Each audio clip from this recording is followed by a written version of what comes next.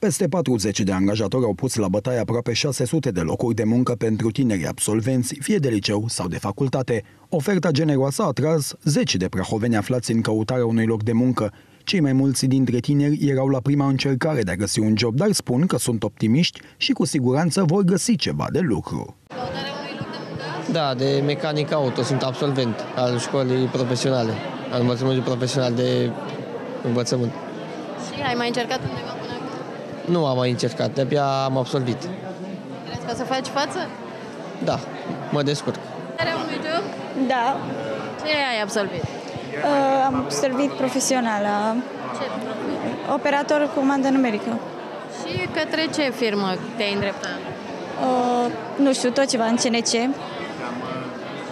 dar uh, Ai mai încercat să-ți găsești un loc de muncă până acum? nu, deci e pentru prima dată. Ce ai absolvit? Chimie industrială. Și către ce te vrei să... Tot pe această parte. Ți-ai mai căutat de muncă până Nu, acum? până acum nu. Abia am absolvit liceul acum, anul ăsta. Și ai avut deja o discuție. Cum ți s-a părut? Interesantă. De viitor. Vrem să aflăm lucruri noi și informații, încât uh, când o să ajungem în clasa 12 să găsim mai ușor un loc de muncă. Ești clasa a? 10. Și te gândești de acum la un viitor job? Da, pentru că trebuie să știm de acum în ce domeniu să ne ducem. Printre cei în căutarea unui loc de muncă s-au numărat și mai mulți tineri din Ucraina, refugiați în Ploiești de la începutul războiului. Sunt peste 200 de ucraineni refugiați numai în județul Prahova.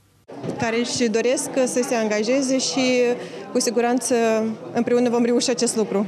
A- Au reușit câțiva dintre ei să se angajeze până acum? Da, sigur, sigur. Avem uh, uh, mai multe angajate care sunt foarte mulțumite și recunoscătoare pentru acea posibilitate de a munci și de a integra în, uh, la noi aici în uh, Ploiești. Au reușit să și învețe limba română?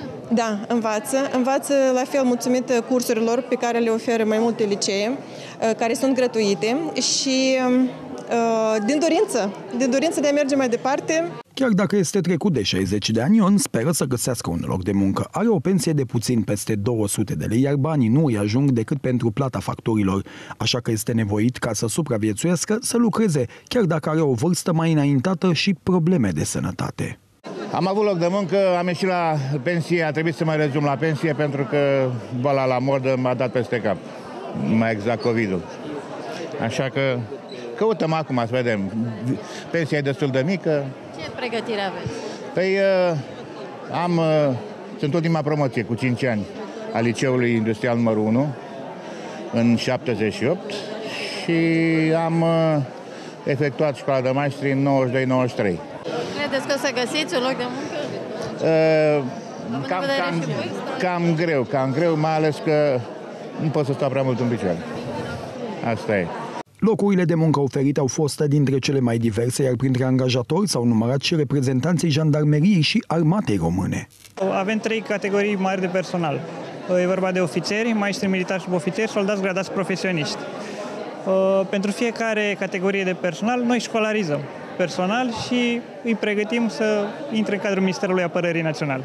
Se îndreaptă tinerii către această carieră militară? Uh, Da, da, sunt, uh, sunt destul de numărați și meseria este foarte atractivă uh, și observăm uh, un număr destul de mare de, de tineri care îmbrățișează o astfel de carieră militară.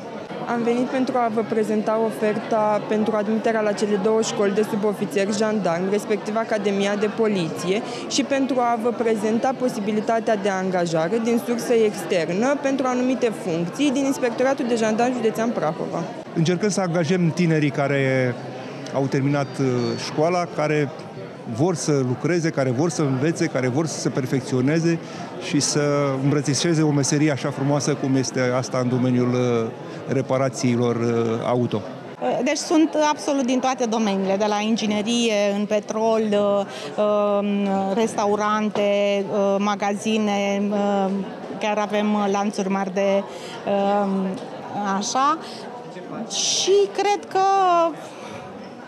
Orice, oricine își dorește să-și găsească un loc de muncă, chiar are ocazia să stea de vorbă cu reprezentanții angajatorilor care um, și-au optimizat oferta în așa fel încât să le ofere tineri, tinerilor posibilitatea uh, de a-și găsi un loc de muncă În acest moment, în Prahova sunt aproape 6.000 de șomeri.